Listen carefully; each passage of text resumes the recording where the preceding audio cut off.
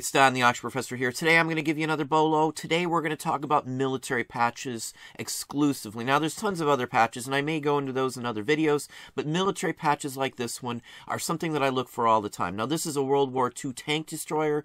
This is a field made, meaning that it was made, you know, in field somewhere, made um, overseas, probably in, in Europe, um, from actually uh, a member of the actual battalion. Here's a World War One. Um, I think this is the first battalion, um, if I'm not mistaken. This is an original. It's felt. This is another one. This one was made in France, and I can pretty much determine that.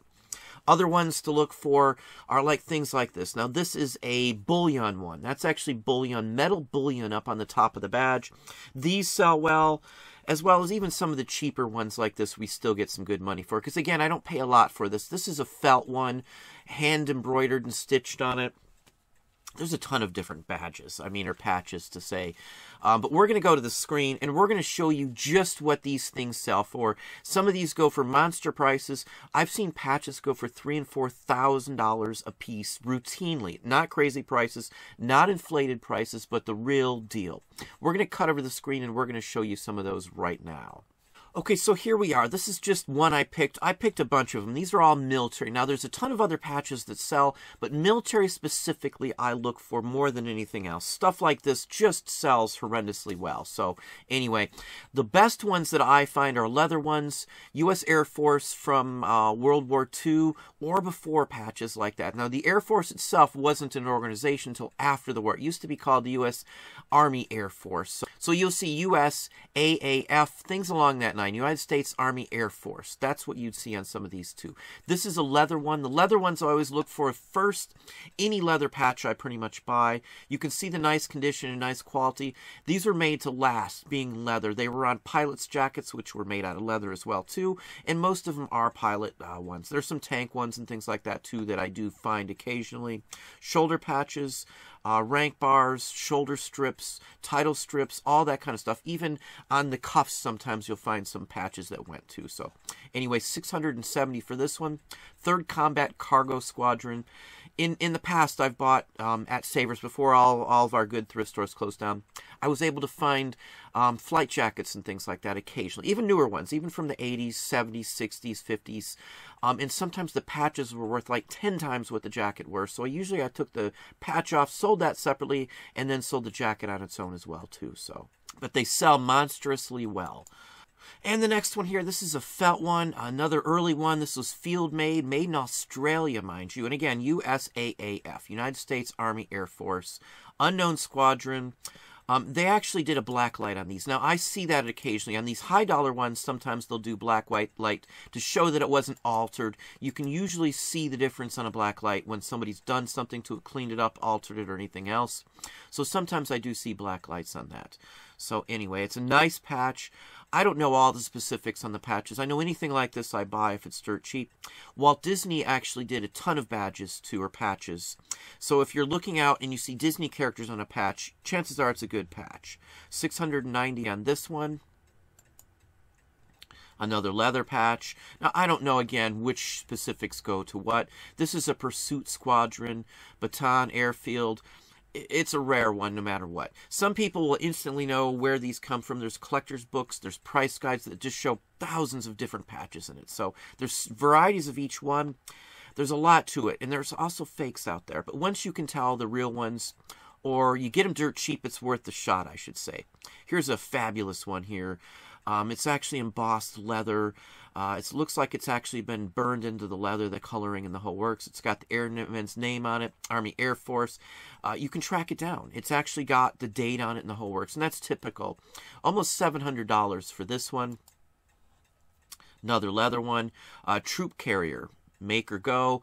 Um, uh, just another grouping here, a leather one, U.S. Air Force, Army Air Force, of course, but 670 on this one. Uh, here's another one, 1960s. U.S. Naval Air Station Jacksonville. Now, I've sold, the first patch I sold for a ton of money was from a, a German fighter squadron from the 60s.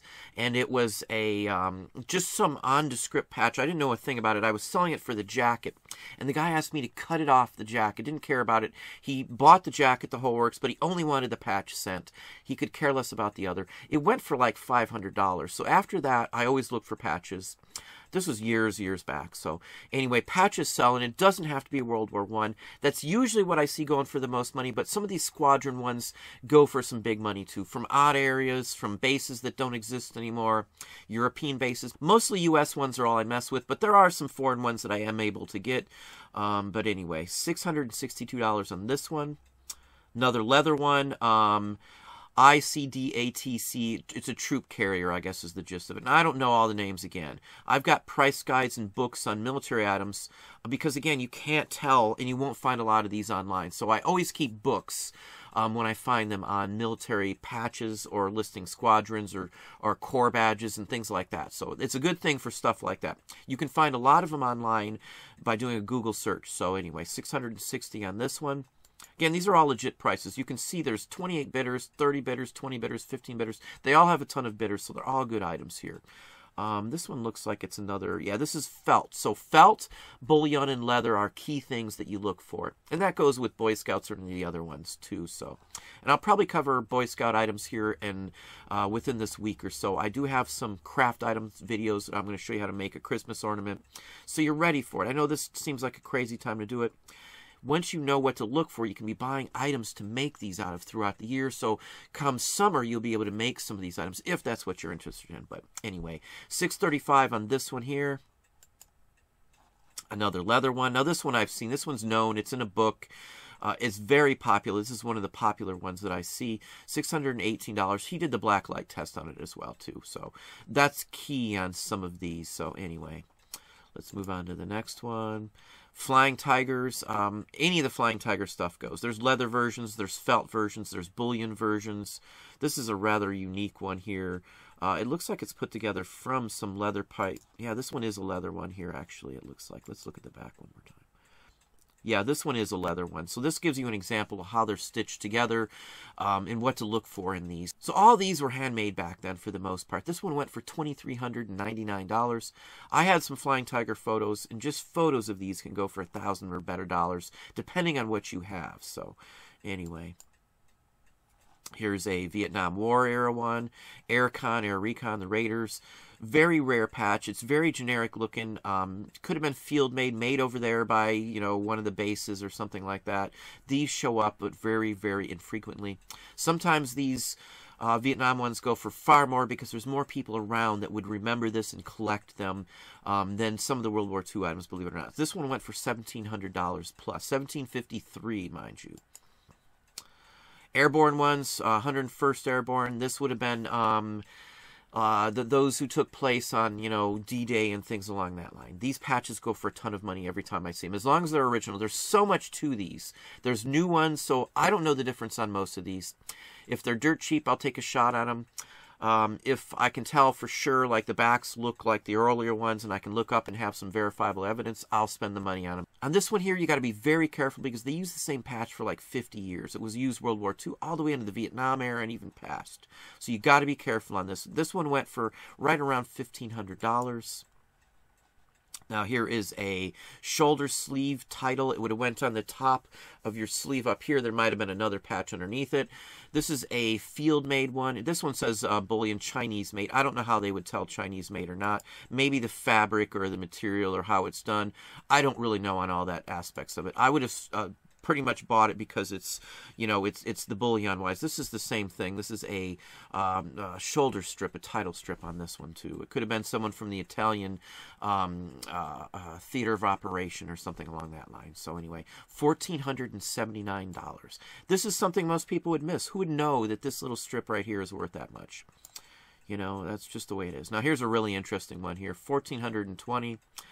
I would have known it was, you know, a vintage patch. I don't know value on a lot of these. You're just going to have to price it or take a shot on some of these. But again, it's worth it. I make a ton of money on patches. Once you get the gist on being able to tell vintage from, you know, new or reproduction, you're good as gold on finding stuff like this. And I can find these all over the place. Even at thrift stores, you can run into a jacket or something where the patches worth some money. You can see these at antiques, antique malls where the person selling them hasn't a clue.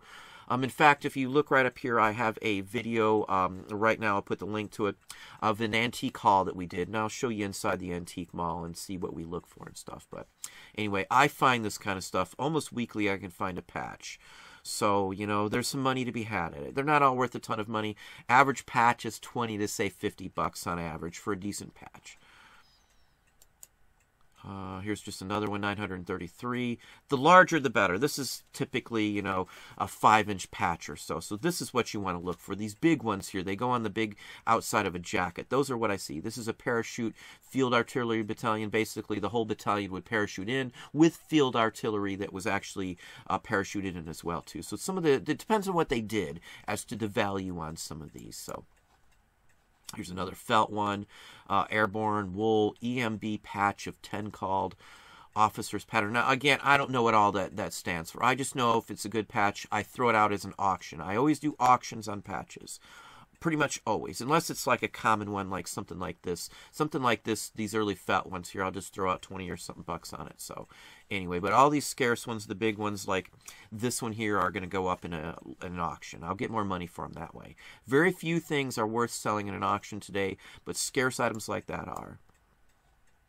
Here's another one. This is a bullion, literally metal sleeve um, or metal uh, stitching on it. It literally has metal across the whole thing on a uh, like a field of stitched fabric. So these are key ones here. This is an early one. I would know without a doubt that this is an early one. Um, theater made again. That's the key to this one. 850. Uh, next one here is another squadron patch. They've kind of blurred the words together, but it's Italian made is what they're saying. Um, chain stitch, that's the style of pattern as you see. It's not filling in, it's just a bunch of chains that are stitched to fill it in back and forth, back and forth, back and forth. That would have been done on a machine by hand, of course. You can tell. I mean, it's going to have, you know, some dirt and some grime possibly too. It might have some issues with the back. That's typical on these. This guy knows what he has. 845 bucks, 21 bids. Um, okay, the next one here, third contingency OG. Um, I, again, I don't know what these all are, but I know these titles, these bullion titles always sell, and they're really small, usually on felt, um, sometimes not. Sometimes you'll even find leather ones, but I always look for the bullion ones on anything. A bullion one will sell better than any other patch um, that's just stitched. The bullion are the ones that I always look for, or the oddball ones, field made, things like that too. So anyway, 817 bucks on this one. Another real nice one here. Now, this one I might have kept if I had it. Um, 34th Bomb Squadron. Again, it has the, the stitched canvas-like um, cheesecloth fabric almost on the back. And that's what I look for on some of these earlier ones here. The Doolittle Raiders, now they, they raided um, Tokyo, if I'm not mistaken. There's sheet music. There's um, books on it. There's movies on it. There's stills all kinds of stuff. They made a movie on, I think maybe 30 Seconds to Tokyo. Maybe that was the Doolittle movie, if I'm not mistaken. $745 on this one, 21 bids. These go on forever. You'll find thousands of patches on eBay that sold for a ton of money. Here's a really interesting one. I really liked this one here. It's a like a painted canvas. It almost looks like to me. Um, it's definitely not not leather, obviously, but it's a very interesting one either way. Nighthawks Marine Corps patch World War II, a thousand bucks. They did a buy it now. Some of these, who knows what they would have went for, so it's iffy on some of them. If you know your patches, you can afford to do this. I don't know them enough to do it, so anyway. Now again, here's one similar to this one here. Um, it's just a different version of it. So you'll find different versions of each patch possibly. But this one here is an early one. You can tell by it being hand painted on there.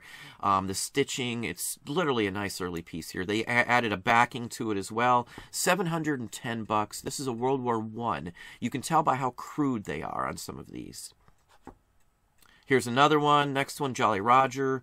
Um, this one's got like um, a coating on the back of it. It looks like theater made. It says again, 650 bucks. Now there's a couple of versions. I've seen a red um, background for it as well too, with some different color patterns. So I'm not sure if that's an age uh, factor or not, but you'll see some of the patches have changed throughout the years. So you can tell a, a World War One versus a World War Two versus a Vietnam by how the patch is made, the coloring and the style and things like that too. So. Now, if you need a book on these, you can get them from the library. There's books on the military collectibles like this. There's a patch book out there as well, too. Here's another tank destroyer one similar, um, and again they do black light on this one here, 650 bucks. Um, I'm assuming, I'm assuming they're showing who it belonged to, maybe, but there's no way to tell in my book. Uh, either way, it's a nice looking patch. Uh, this one here has felt. It has cheesecloth backing on it. Now, that backing was essential because that's what helped hold the stitching on to this because felt does pull apart easily without something on it to reinforce it. So, But anyway, that's what I have for you here. Hopefully you can see the drastic value of things like this. I do source these items at antique malls. Thrift stores occasionally, you'll find something there um, flea markets, estate sales, auctions, even garage sales occasionally you run into these. Again, it doesn't have to be World War II. Vietnam stuff shows up at garage sales, believe it or not, quite often. I'll find uniforms, just junk pieces that people think aren't worth money. And again, that's where I make some more money at. So, But that's just places that I can find this type of item. Well, there you go. There's another item that I look for. Hopefully that gave you some ideas and some thoughts. If you enjoyed the video, please hit the like button down below. You can also hit the bell icon to be notified when I post new content or go live. Subscribe and tell a friend.